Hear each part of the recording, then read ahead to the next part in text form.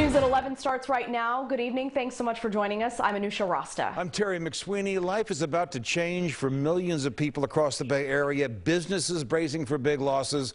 Hospital workers continue to be stretched to the limit. NBC Bay Area Sergio Quintana begins our coverage from San Francisco.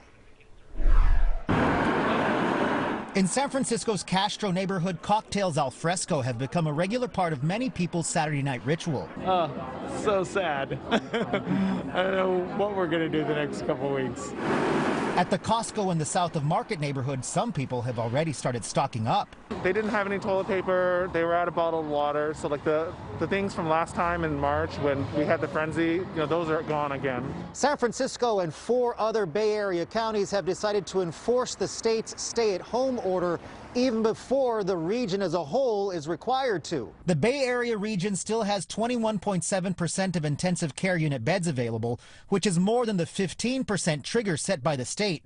But the San Joaquin Valley and Southern California regions just fell below that threshold this weekend, which means those areas, along with much of the Bay Area, will now begin the shelter at home order Sunday night. The big concern is not necessarily ICU beds. It's the people who work those facilities. Staff is so critical, and staff are getting sick. Uh, staff are becoming demoralized. And the more that we have COVID in the community, staff are not just going to get sick from regular colds and things we have during winter, they're going to get sick from COVID as well. And even as millions of Californians prepare to go into another stay at home order, there is a glimmer of hope. Speaking on the Today Show this morning, a member of the FDA's Vaccine Advisory Committee said they will vote on approval next Thursday, and vaccinations could start soon after. If the FDA commissioner decides to issue approval, the EUA on that on that day when the vote is taken, as early as Friday of next week, uh, we could see vaccinations happening across the country. Frontline medical staff will be among the first to get the vaccine, but that does not mean they will be immediately protected. That's because the Pfizer formula requires a second shot 21 days later. So the vaccine may not do much to ease California's December stay at home order. Sergio Quintana, NBC, Bay Area News. New at 11, another popular pandemic attraction in San Francisco is temporarily shutting down.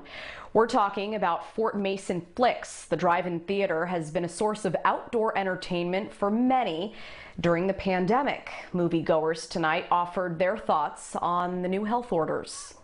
It's complicated, I guess, but um, I think there's a you have to kind of strike a balance between how people police themselves and, and what's left open for the economy and for businesses to run. Fort Mason Flicks will screen its last film tomorrow night before going dark until the stay-at-home order is lifted.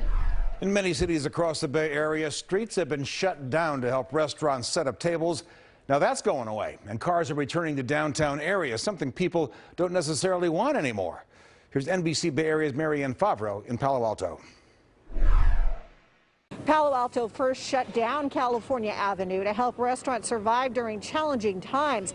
Now those restaurants have to pack up everything because cars are going to once again move through here. Tonight may be the last night Evan Johnson and his family can walk down the middle of California Avenue in Palo Alto this year.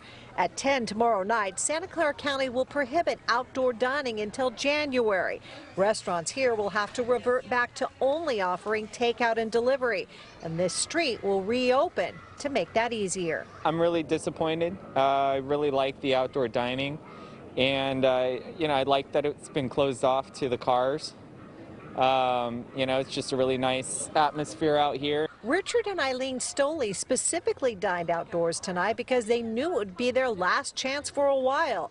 Eileen says she's always felt safe dining al fresco. I do think it's a bit extreme. I do because we our, our, our restaurants, the people that work in this community, this is another blow to them. Michael Campilongo is one of the owners of Terun and Italico in Palo Alto. With only to-go orders, he says he'll be forced to reduce his staff to a third of what it is now. We're trying to switch like we did before on uh, takeout only. But of course, uh, it affects our business a lot, mostly because we have to let people go. Uh, that's the main concern we have. Uh, consequences are unemployment, and that's uh, the saddest part.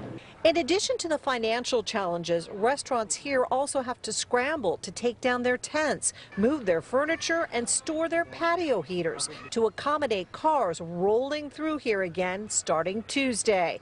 Investments they made to try to survive COVID pushed aside for now. In Palo Alto, Marianne Favro, NBC Bay Area News.